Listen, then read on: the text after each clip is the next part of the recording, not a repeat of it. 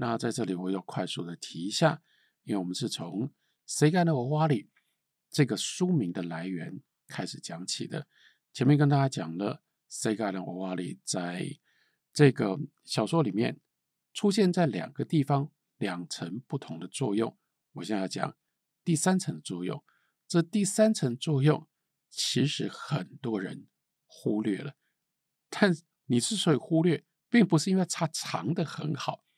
正就是因为它完全不长，它在一个太明显的地方，因为它太明显，所以你通常你就没注意到它在哪里呢？它在全书开头最开头的第一段文字。全书开头的第一段文字，如果你看目录的话，那是冷酷意境，标题叫做“电梯无声肥胖”，不是在。出现电梯无声肥胖之前，有一个村上春树非常有意思，他放在这里的一段歌词，这段歌词就来自于应该很多人都听过。那如果这个当然看你的年纪，那是我们年轻的时候那个时代，我们还来得及这首歌流行的时代。那现在对比较年轻的人，那就是你们心目当中的经典老歌。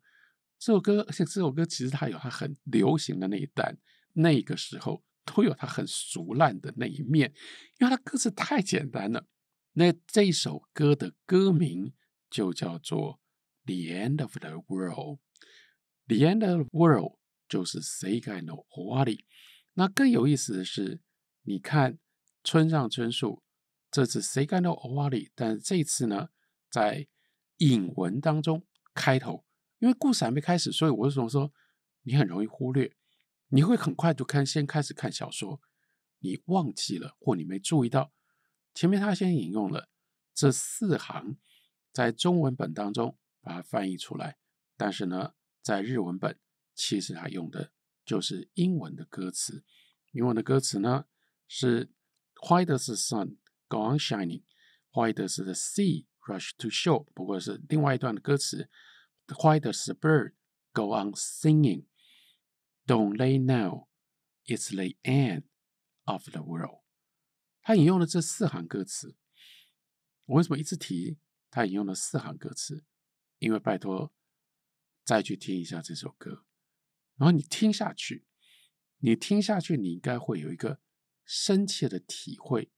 那也许刚开始的时候是会心微笑，微笑是什么？我不要告诉你答案，我告诉你说，去听这首歌，然后听下去，听到 "Don't they know it's the end of the world"，下一句歌词是什么？那这下一句歌词，它就在那里。但是为什么村上春树不引用那下一句歌词？至少我自己的解读，他就解释了非常重要关键的。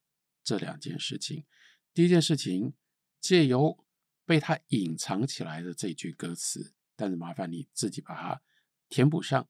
他就在告诉我们，这个叙事者我，他变成了这样的一个硬汉，他变成了一个什么样的硬汉？他如此的孤独，孤独到，因为他跟这个世界没有明确的联系，所以他才会被这个胖女孩的爷爷，他的他的祖父选了。变成去发明，或者是说去运用，作为进入到另外一个下一个阶段的钥匙，这个特性是这样来的。那它的另外一方面呢，它之所以变得跟这个世界形成了这种特别的那样一种可以说极度疏离的关系，因为在他的意识反应，就是在他的意识的核心当中。他有一个最深刻、最深刻的恐惧，可是这个最深刻的恐惧却偏偏形成了他的生命，他的就是地下一楼的他的生活的最基本的性质。